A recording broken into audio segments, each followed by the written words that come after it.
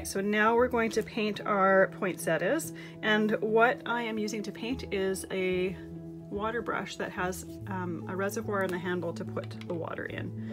So the nice thing about that is I don't need to have a jar with um, water sitting on my desk and possibly something that I could knock over because I'm a little bit of a klutz and I definitely would knock it over.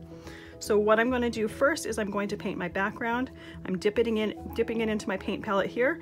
This is filled with Distress Ink re-inkers. I have lots of Distress pads, so I have the re-inkers to fill those pads. So the other thing that is nice about using a pen or a water brush that has water right in the handle is I can um, add a little bit of water to dilute my color.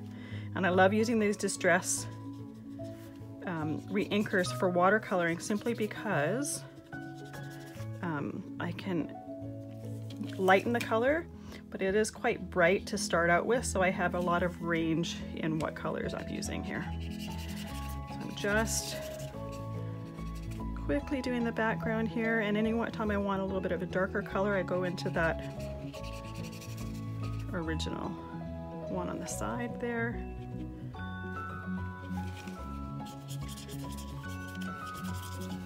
Now this is just to get some color on the background just because I didn't want it to be completely white. And by embossing the image first, I have little ridges where the stamped um, image is. So I don't need to really worry about going into that. Even if I did go a little bit into where the stamped image is, my blue that I'm going to be painting for the poinsettia is darker than this color here that I'm putting on the background. So I don't really need to worry too much about it. Little bit in there. Oh, that was a poinsettia leaf. So I will be fixing that when I go to do my poinsettias. Now before I start painting my poinsettias, I'm going to want to make sure that this background is dry. Simply because if I were to start painting the poinsettias while this background is still wet, if I happen to go over my little ridged line there, I would have blue seeping into my background. Right, so there we go. I'm gonna leave this to dry and I'll see you to cut, color the poinsettias in just a moment. It's in the same video, but I'll see you. All right, so my background is dry and it really doesn't take very long. So the first color I'm going to paint for the base of my poinsettia, and I'm only gonna show you one, the other two are exactly the same. I'll show you the full one here. So I've got my weathered wood in my Distress Reinker. And I always have this palette here with my Distress Reinkers. Um, they never dry on this palette, so it's great. I can go in and start watercoloring anytime I want. The only thing, because they don't ever dry, is I have to store it horizontally. So you don't want to tip it on its side. You're just gonna have paint that's running into each other if you do that. So I'm starting in the center and I'm moving my paper around. And that's because I want the darkest of the colors in the center. And we're gonna elaborate on that a little bit. So it's not going to be just this one color. I'm gonna add other, other colors to it to give it a little bit more depth.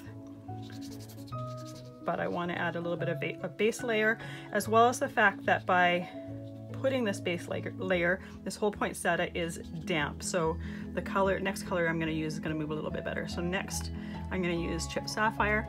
And these are the only three colors that I'm actually using on this particular um, card. So I've got old paper for my background, I've got weathered wood and chipped sapphire. So I went in there with my darkest color and I don't want to have that much of that on my brush. So I have a little napkin here. You could use a little paper towel, whatever you want. I'm just gonna take a little bit of that off of my brush and then go back in and I'm spreading that around. And it's really easy to do because that petal is wet. So it's very easy to go in just spread that color around. So I'm doing exactly the same thing for all the petals, working my way from the outside in. So I went in with the chip sapphire and now I'm gonna spread it out. Because this second one here, the color wasn't quite as dark, I didn't have to take it off of my brush, as much. Sometimes you will, sometimes you won't. So it sometimes depends on the um, size of the area that you're working on as well. And some of these poinsettia leaves kind of go into each other, so sometimes it's a little bit hard to tell exactly where one leaf starts and one ends.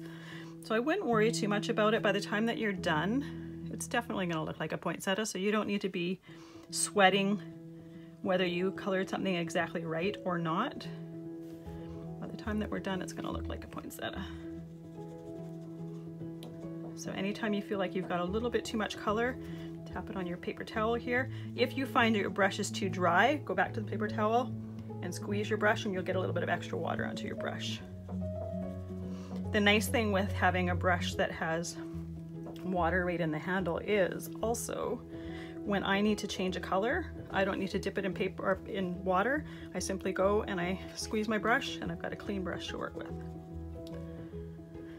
So now I'm gonna go into my center here. And a lot of these center poinsettia petals kind of um, run into each other, so I'm not gonna worry too much about the details there. I just wanna make sure to get that when I have one of these bigger petals because you're definitely gonna see the shading and stuff like that on the bigger ones here.